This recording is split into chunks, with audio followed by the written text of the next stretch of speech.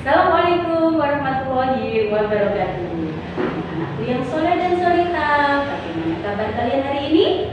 Tentunya dalam keadaan sehat dan tetap semangat.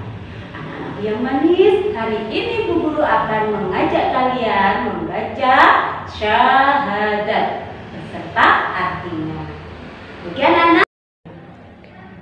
Asyhadu an la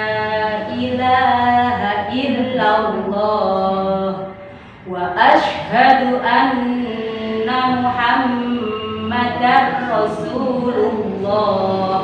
Nah sekarang dengan artinya ya. Artinya saya bersaksi bahwa tiada Tuhan melainkan Allah. Dan saya bersaksi bahwa Sesungguhnya Nabi Muhammad itu adalah utusan Allah.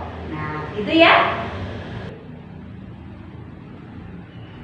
Nah, ingatan anak, setelah kalian membaca syahadat beserta artinya, nanti kalian kirim ke grupnya masing-masing. Tetap semangat ya. Assalamualaikum warahmatullahi wabarakatuh.